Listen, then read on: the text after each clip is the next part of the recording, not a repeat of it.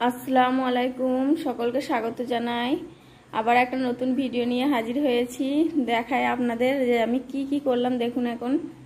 এই যে দেখুন, ঘরগুলো সব কিন্তু পোছা লাগানো হয়ে গেছে।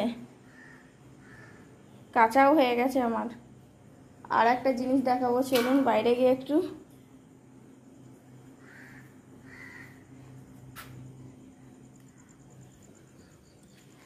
এই যে দেখুন। সিঙ্গারার তরকারি চাপিয়ে দিয়েছে, আর বাইরেটা দেখুন কতটা অন্ধকার। কখন কিন্তু মনার পাপা চলে গেছে, ও যাওয়ার পর সিঙ্গারার তরকারি চাপিয়েছি, কেচেছি, ঘর মুছেছি। সবাই নিজে নিজের ঘরে ঘুমাচ্ছে। আজকে আমারও ভালো লাগছে না, মনে হচ্ছে শুয়ে পড়ি, কিন্তু কিছু করার নেই কো কাজ তো করতেই হবে। ঠিক আছে, সকাল হোক, তারপর আবার দেখা হবে এখনকার মতন। এই এই যে এইখানে দুধ বসিয়ে দিয়েছি। ছানা কাটার জন্য অল্প পরিমাণে গ্যাসে। আর বাইরেটা একটু দেখাই, চলুন। এত ধুলো মাটি, এত ধুলো হয়েছে। বৃষ্টি হয়নি, অনেক দিন হয়ে গেছে। চার পাঁচ মাস হয়ে যাবে, বলা। মিষ্টিটাকে নেড়েছিল? এই যে মিষ্টি, রসে ফেলা আছে। আর এখানে মিষ্টি ভাজা চলছে চুলোর মধ্যে। ময়রা সেজেছ? তাকাও এদিকে। বাবা, তোকে আমি হাই বলেছি, কর। নিজে থেকেই ভিডিওর আমরা দুজনে এইভাবেই হাসি মজা করি সব সময় আর কাজ করি। আর আমার তুইটাই বেশি বার হয়ে যায়, কেননা ছোট থেকে ওর আর আমার, আমাদের রিলেটিভের মধ্যে বিয়ে হয়েছে। ছোট থেকে তুই বলা, অভ্যাস বলে তুইটাই বেশি বার হয়ে যায়। আর এই যে দেখুন ভুতুরে ঘর, এই ঘরে গলায় দড়ি দিয়ে মারা গিয়েছিল। ওদের দরজা আমাদের দরজা পুরো একসঙ্গে। দেখুন, গত নভেম্বর মাসে মারা গিয়েছিল একসাথে। তবু আমাকে ভোরে উঠতে হয় কাজ করার জন্য। ভয়টা আমার লাগে না কো। আর এখনও দেখুন, সবাই এখনও ঘুমাচ্ছে। এক আধজন হয়তো উঠেছে এখন। প্রায় সাড়ে আটটা বাজবে। আমাদের তো এর মধ্যে অনেক কাজ হয়ে গেছে। ও এখানে মিষ্টিটা বানাতে থাকুক আর কাঠেরগুলো এত সুন্দর জ্বলছে না, কি বলব? আর আমি একটু ঘরের কাজ করে নিই, চলুন। এই যে দেখুন চিকেন এনে দিয়েছে মিষ্টি হওয়ার পরে।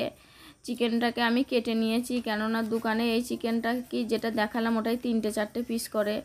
আমার পছন্দ হয় না আর আমি ঘরে কাটি একটু বড় বড় করে। নিজেরাই তো খাব, তাই একটু বড় করে কাটি চিকেনটা ধুয়ে আমি ফ্রিজে রেখে দেব।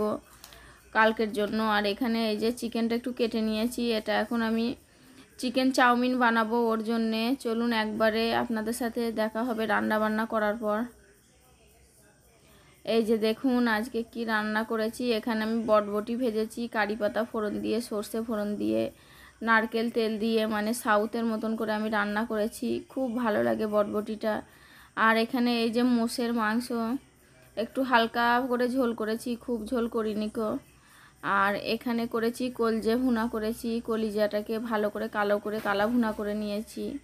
আমার তো কলিজা ভুনা আর বটবটি দিয়ে ভাত খাওয়া হয়ে গেছে। চলুন একবারে ইফতারে গিয়ে কথা হচ্ছে। এই যে দেখুন, এখন আমি ইফতারের জন্য চিকেন দিয়ে চাউমিন বানিয়ে নিয়েছি। খুবই ভালো টেস্ট হয় চিকেন দিয়ে চাউমিন। আর এখানে আমি একটু অল্প করে তরমুজ কেটে নিয়েছি।